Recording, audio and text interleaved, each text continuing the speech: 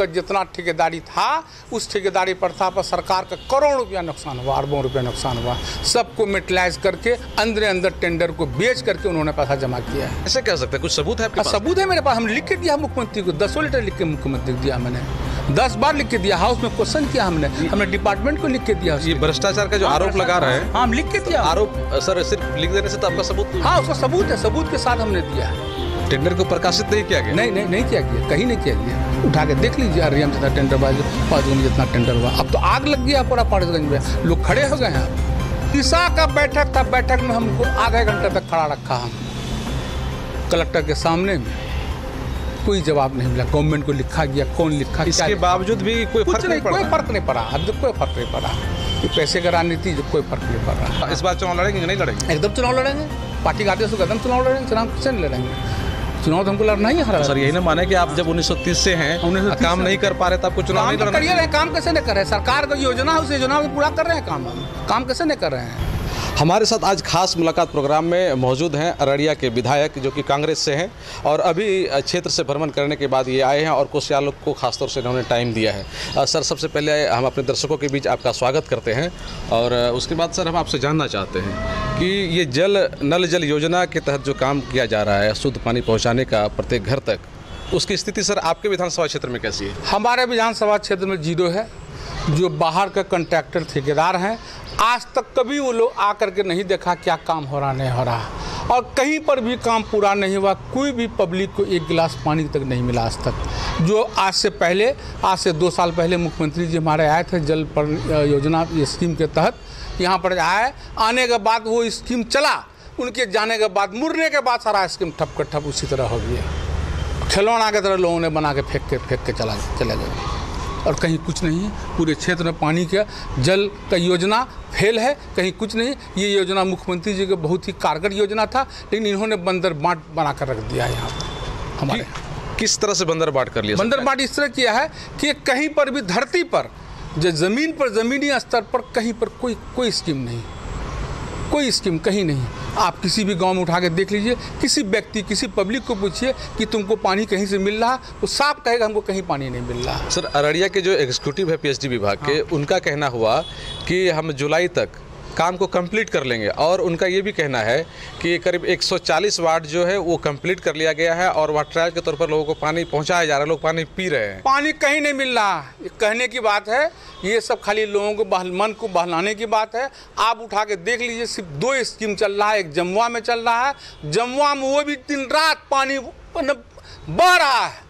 पानी को रोकने वाला नहीं पानी कहीं कुछ नहीं है। हर तरह उसी तरह से हर जगह उसी तरह का है। कहीं किसी को एक गिलास पानी नहीं मिल रहा। सरकार का खर्च में सर इसमें कितना आ रहा है? सरकार खर्चा तो बेतहासा आ रहा। कागज़ बन रहा बिल बन रहा उठा के लोग खा रहे हैं हर जगह। हमारे यहाँ एक स्कीम चला था उसमें जो बड़का टावर बनाया गया पानी का एक बूंद लोगों को पानी नहीं मिल रहा। हमने कई बार असेंबली क्वेश्चन किया। कई बार स्कीम स्कीम किया लेकिन कहीं कुछ नहीं है। कहीं कुछ नहीं है। नीतीश जी कह रहे हैं कि काफ़ी हम काम कर रहे हैं। जाँच की बात है ये। ये हमारे कहने से माननीय मुख्यमंत्री जी कहने ये स्कीम बहुत अच्छा मुख्यमंत्री जी कुछ नहीं कहना हमको। नल योजना तहत उसको बनाया गया था जल निगम से बड़का टावर बना हुआ है। एक बूंद लोगों को पानी नहीं मिल रहा अररिया टाउन में। क्या क्या चेक चेक करवा लीजिए। तो फिर वैसे वो टावर बना देने से वो टैंकी बना देने से वो टावर ही बना दे गलत जगह बन गया। वो बना वो ज़मीन है उसका अब बना दिया वो। ज़मीन किसी दूसरे विभाग का ज़मीन हमारी ज़मीन थी। हमने भूदान में ज़मीन को दे दिया। भूदान की ज़मीन बना के चला गया अपना वो सारा पैसा उठा के जेब में डाल के चला गया अपना वो। जिस मकसद के साथ बनाया गया कि लोग शुद्ध पानी पी पाएँगे। नहीं शुद्ध पानी कहाँ है यहाँ तो लोग नाला का पानी पी रहे हैं बरसात का पानी पी रहे हैं। पानी के लेवल काफ़ी ऊपर आ गया है दस फीट पानी आ रहा है लोग पी रहे सर ये जो एरिया है हाँ। इस एरिया में कहा जा रहा है कि जो आयरन युक्त पानी है वो ज़्यादा है। तो वैसी स्थिति में शुद्ध पानी मिलना यहाँ के लोगों के लिए कितना ज़रूरी लग रहा है बहुत ज़रूरी लग रहा है। लोग तरह तरह से बीमार पड़ रहे हैं, लेकिन आखिरकार जीने के लिए लोग वही पंद्रह फीट पर पानी पी रहे हैं।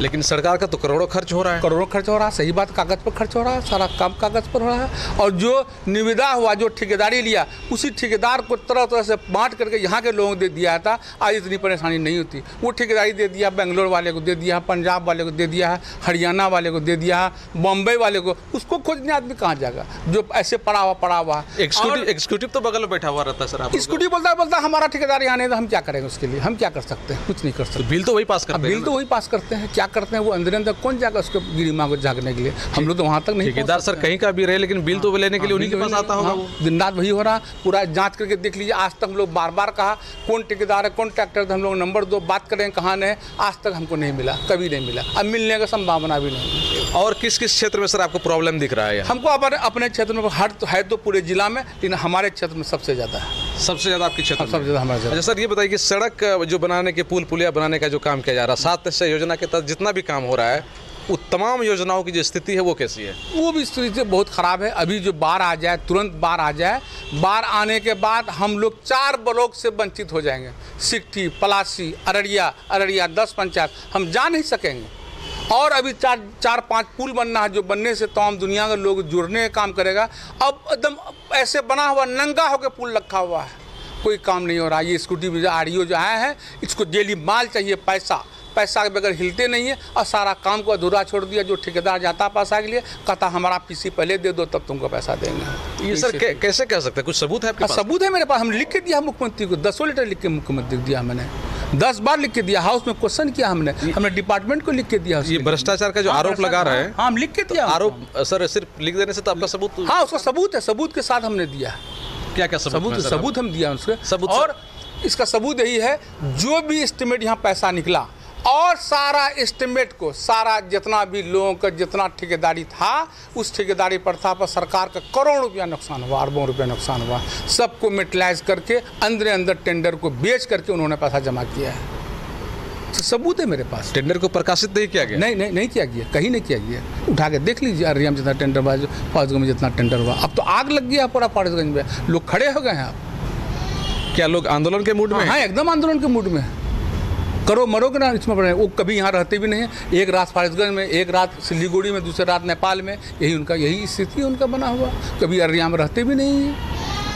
सर आप लोग तो उनसे मिलकर सवाल किए होंगे तो जवाब क्या आता है? हमेशा सवाल किया उससे हमेशा सवाल हमेशा क्या सवाल। आता है कुछ नहीं हम देख रहे हैं। हम देख रहे हमने हमने कुछ दिशा का दिशा- रटी रटाई हुई बात देख रहे हैं। दिशा का बैठक था बैठक में हमको आधे घंटे तक खड़ा रखा हम। कलेक्टर के सामने। में कोई जवाब नहीं मिला। गवर्नमेंट को लिखा गया कौन लिखा इसके? बावजूद भी कोई फ़र्क नहीं पड़ कोई फ़र्क नहीं पड़ा अब तक कोई फ़र्क नहीं पड़ा। खाने का दिक्कत की वजह से लोग जा रहे हैं। हर गाँव से लोग एक एक बस भर के जा रहे हैं पंजाब जा रहे हैं दिल्ली जा रहे हैं हर जगह जा रहे हैं वापस। भूखे मरेंगे यहाँ पर। जिन लोगों का क्वारंटाइन के इसके वजह से रखा गया उसको कोई नहीं है। जिसको कोरोना जिसको हुआ या नहीं हुआ उसके लिए चावल दाल अनाज मिला कहीं किसी को एक एक दाना नहीं मिल रहा है। सर, राशन कार्ड की क्या राशन कार्ड की व्यवस्था बहुत रद्दी रद्दी व्यवस्था है यहाँ। जिन लोगों का आवंटन मिला है, सारा डीलर बैठ करके अपना बैठ के खा रहा किसी को कुछ नहीं मिला, किसी को मिला, किसी को नहीं मिला सबको, जिसको दाल मिलना है एक किलो आठ सौ ग्राम मिल रहा है किसी को आधा किलो मिल रहा है पाँच किलो चावल मिलना था तो उसको साढ़े चार किलो मिल रहा है चार किलो मिल रहा है तो सर कैसे निदान होगा इसका? कैसे निदान होगा तो बड़े वाला जानेगा जो हमारे लोग हमारे पार्टी हमारे आप सर विधायक हैं, कांग्रेस पार्टी जब सरकार में आ जाएगी बहुमत में तब इसके लिए हम लोग सोचेंगे। हम लोग पहले भी सोचा था तटबंध बनाने सर जनता तो आपको विधायक बना दी है। हाँ बना दी। हमको हम अकेले विधायक है यहाँ पर। अकेले सिंगल विधायक है। हमारे बस में जो ताकत है वो जनता के लिए हमेशा सेवा के लिए हम आप अपने बस अपने बदौलत क्या क्या किया है सर आपने? हमने जितनी भी स्कीम थे हमारे स्कीम पर सरजमीन पर स्कीम उतार के हमने डाल दिया है। कहीं बगलिंग हमने नहीं किया है। जो भी स्कीम हमारे सरजमीन धरती आपने जो भी काम किया है वो मजबूती के साथ हुआ मजबूती से एकदम मजबूती। क्या- क्या किया आप कहीं भी चेक करवा लीजिए कहीं में रोड हमने बनवाया कई जगह कई जगह मकान बनवाया कई जगह स्कूल का बाउंड्री वाल बनवाया हमने कई जगह रोड बनवाया कई जगह मकान बनवाया है कई स्कूल में हमने लेटरिन बाथरूम दिया है महिला लो- लोगों के दिया है हरिजन के मकान मकान बनवाया हमने कई जगह बनवाया कब्रिस्तान को और लग लगभग पच्चीस तीस कब्रिस्तान हमने घरवाया जो विवादित कब्रिस्तान है उसको घरवाया हमने सर ऐसा कोई काम आपने किया है जो कि 50 वर्ष के बाद भी लोग याद रखे कि नहीं इस विधायक के कार्यकाल में हाँ हमेशा हमारे हम उन्नीस सौ उन्हें उन्हें उन्नीस सौ तीस से हमारा परिवार प- इस सियासत में राजनीति में है। हमारे पिताजी जो काम करके गए हैं, वो भी आज पड़ा हुआ है। हमारे लोग हम लोग देखते हैं उस काम को। तो हमारा भी काम जो है मेरा पोता मेरा बेटा भी उन्नीस सौ तीस से जब राजनीति में आप लोग हैं आपका परिवार है हाँ, तो इतनी समस्याएँ हैं तो इसके लिए आप जिम्मेदार नहीं है? हम भी हम तो कह रहे हैं हम लोग जिम्मेदार है हम भी जिम्मेदार है उसके लिए। हम इससे वंचित नहीं है। तो क्या जिम्मेदार जब है तो इस बार चुनाव लड़ेंगे नहीं लड़ेंगे? एकदम चुनाव लड़ेंगे। पार्टी का आदेश होगा एकदम चुनाव लड़ेंगे चुनाव कैसे नहीं लड़ेंगे?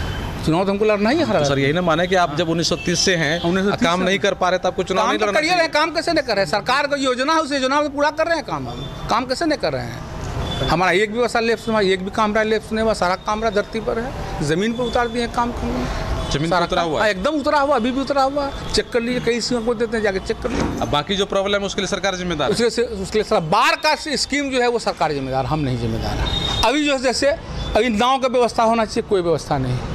कोई व्यवस्था नहीं। तैयारी पहले से नहीं हाँ, रहती कुछ नहीं कुछ नहीं कुछ नहीं। ज़ीरो पर अब तक कोई और ग्यारह तारीख को कई बार पूछा बोला ग्यारह से मीटिंग है नाव का। अब लोग नाव पानी पानी पड़ेगा नाव का व्यवस्था शुरू हो जाएगा। बड़ी परेशानी है यहाँ पर लोग बहुत परेशान है। तो इस बार सर हम क्या माने? जितनी समस्याएँ आप गिना रहे हैं इतनी समस्याओं को आप चुनाव के दरमियान जनता के बीच रखेंगे। हम रखेंगे ही रखते ही दिन रात अभी से हम रखना शुरू कर दिया।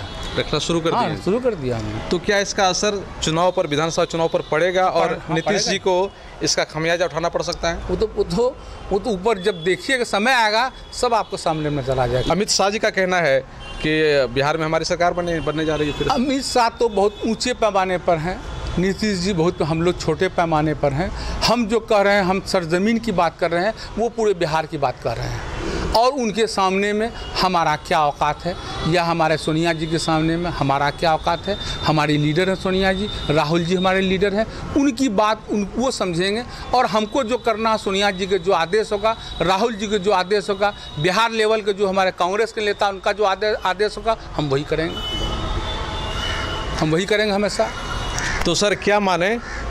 कि इस बार आप लोग चुनाव लड़ेंगे। नीतीश जी पहले कह रहे थे कि इस दो हज़ार पंद्रह में जो चुनाव हुआ वो नीतीश के कारण कांग्रेस को भी सीट बढ़ गया कांग्रेस का भी और राजद का भी। इस बार तो सबका सफाया होने वाला है। वो तो वक्त ही बता देगा कौन हम सफाया होंगे कि वो सफाया होंगे। हम वक्त से पहले बोलना कुछ बेकार है।